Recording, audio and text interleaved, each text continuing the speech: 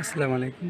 অনেকেই জানতে চেয়েছেন যে আমি এই যে গাছগুলো লাগাইছি এগুলোতে কোনো সার কীটনাশক সার বা কোনো কিছু মিশাচ্ছি কিনা বা কি কি দিচ্ছি সে বিষয়ে। আজকে ভিডিওটি হতে চলেছে। ফেসবুক স্টার কি সেরকম তাহলে শুরু করি।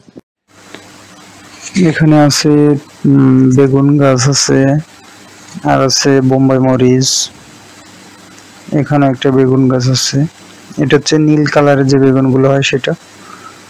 যদিও অনেকগুলো হয়েছিল অলরেডি উঠানো শেষ ইফতারিতে বেগুনি বানানোর জন্য। আর এটা হচ্ছে দেশি বেগুন। যদিও এটা দিয়ে আরেকটা, এই- গাছটাতে বেশ কয়েকটা এখনও আছে বেগুন। আর অন্যগুলোতে কিন্তু এর আগে অলরেডি দুইবার, তিনবার করে আমার ওঠানো শেষ কোনো কোনো গাছে। আর এই গাছটা থেকেও ওঠানো কয়েকবার হয়েছে।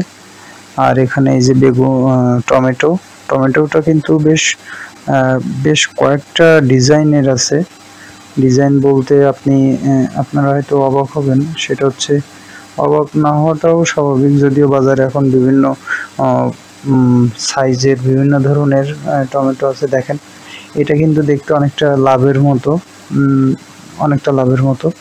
আবার এখানে আছে, কিছু আছে একবারে পুরো গোল গাল, আবার কিছু আছে হচ্ছে একটু চ্যাপ্টা টাইপের ভাঁজ পড়া। এটাও কিন্তু গোলগাল বেশ মানে বেশ কয়েকটা কি বলে, বেশ কয়েকটা ধরনের হ্যাঁ বেশ কয়েকটা ধরনের হয়েছে। আর এক একে এক এক মানে বেশ কয়েকটা করে হয়েছে এক এক সাথে চার পাঁচটা করে। তো দেখা যায় এটা নিয়েই অনেক সময় আমার সময় কেটে যায়। সময় কেটে যায় বলতে যে সকাল টাইমে পানি দিই। আর শুক্রবার বিশেষ করে এটা পরিচর্যা বা স্থানান্তর করি। আর সকালে এবং সন্ধ্যায় পানি দিই। আর দেখা যায় যে যে চাল ধোয়া পানিগুলো, এগুলো দিই গাছের নিচে। আর এই যে বেগুন গাছের নিচে আবার কিন্তু অনেক ঝালের ছোট ছোট চারা বের হয়েছে। তো এগুলো হয়তো এরপরে আমি টমেটোগুলো উঠে গেলে হয়তো এর থেকে কিছু রাখার ইচ্ছা আছে।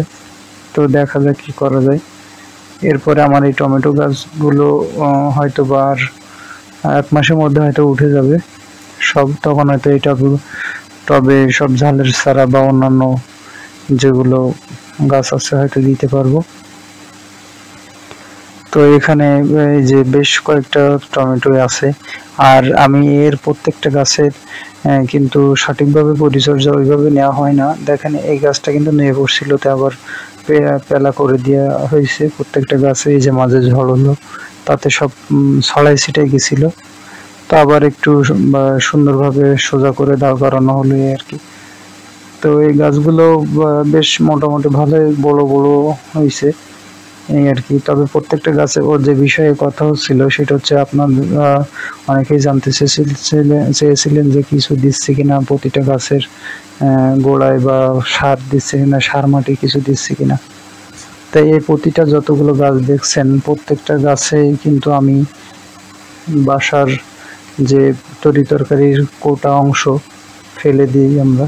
এই যে দেখেন প্রত্যেকটা গাছের গোড়ায়, এই যে দেয়া। আমি কিন্তু অবশ্যই প্রতিটা গাছের গোড়ায় কিন্তু মাটি খুবই কম। অল্প কিছু মাটি এই যে লাউ গাছ, এই লাউ গাছে কিন্তু চাল দেওয়া পানিটা বেশ ভালো কার্যকরী। তো এই যে দেখেন লাউ গাছটাও কিন্তু বেশ সুন্দরভাবে বড় হয়েছে এই যে উপরে।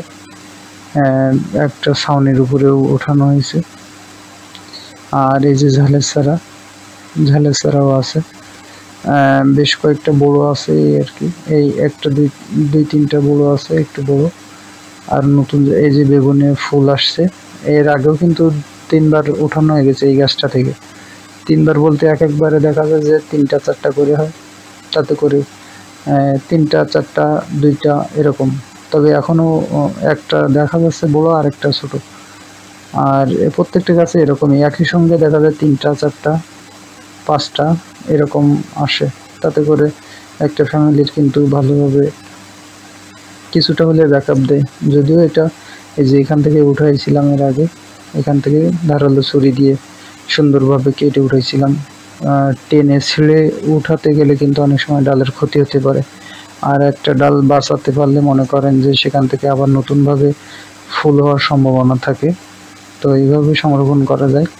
গাছগুলো, এই যে প্রতিটা গাছের গোড়ায় দেখেন, সারগুলো সুন্দরভাবে কিন্তু আমি ছড়িয়ে সুন্দরভাবে মিশে মানে দেওয়া হয়েছে, এই যে প্রতিটা গাছের গোড়ায়। এবং ওই যে বিভিন্ন তরি তরকারি কোটা থেকে যে বীজগুলো ছিল, সব চারা বেরোইছে তো দেখা যায় যেগুলো রাখার মতো হয়, রাখব, নাহলে সব মানে সব তো আর রাখা সম্ভব না। দেখা যাক কতটুকু রাখা যায়। তবে এটা সংরক্ষণ করতে হবে আপনার যত বাসার কোটা অবশিষ্ট অংশ এটা ফেলে না দিয়ে আপনি বালতিতে সংরক্ষণ করতে পারেন। এই যে দেখেন, পুঁইশাকের চারা বেরিয়েছে। এটা কিন্তু আসলে এমনি এমনি বেরিয়েছে, কোনো বীজ দেওয়া ছিল না। দেখা যায় আমরা কেটে কিছু অংশ ফেলে দেওয়া হয়েছে, ওখান থেকে আবার পচানো হয়েছিল। সেখান থেকে উঠায় আবার এইভাবে ছড়ানো হয়েছে। এবার ওখানে বীজটা মানে পরিপক্ক হওয়ার কারণে আর কি বীজ থেকে চারা বেরিয়েছে। এবার নতুন করে ফুল আসছে দেখা যাবে যে কিছুদিন পরে এগুলোতেও বেগুন হবে।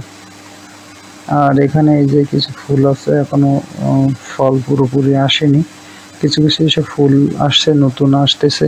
আবার কিছু কিছু গাছে অলরেডি ফল বেশ মাঝারি সাইজ হয়ে গেছে আবার কিছু কিছু গাছে ছোট ছোট।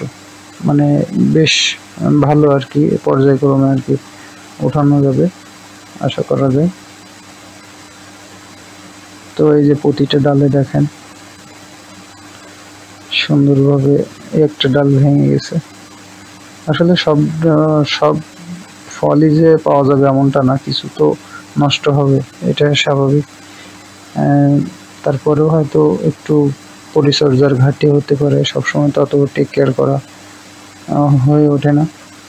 তবে বাসা বাড়িতে শহরে বাসা বাড়িতে এগুলো আমি মনে করি আমাদের যে অবসর টাইমে এগুলো করা উচিত। টুকটাক কিছুটা হলেও কিন্তু আপনার সংসারে সাপোর্ট দিবে। মূলত আমরা তো সবাই দেখি লাভ, কি লাভ আছে, কি বেনিফিট আছে সেদিক থেকে। আর সব থেকে বড় কথা আমার হচ্ছে সময়টা ভালোভাবে কাটে এতে নিয়ে। তো এই যে প্রতিদিনে ফেলে দেওয়া ময়লা হয়ে ওঠে, কোনো এক সময় জৈব সার। এভাবে কিন্তু আপনার পরিবেশ বান্ধব হয়ে উঠবে, যেখানে সেখানে ময়লা ফেলবেন না। ময়লাগুলো নিজের সংরক্ষণে রাখবেন এবং সার করবেন, এভাবে গাছে আপনি পরিচর্যা করতে পারবেন। তো সবাই ভালো থাকবেন, দোয়া করবেন, আর বেশি বেশি লাইক, কমেন্ট, শেয়ার করে পাশে থাকবেন। এভাবে যেন আপনাদের ভিডিও উপহার দিতে পারি, সেই দোয়া করবেন।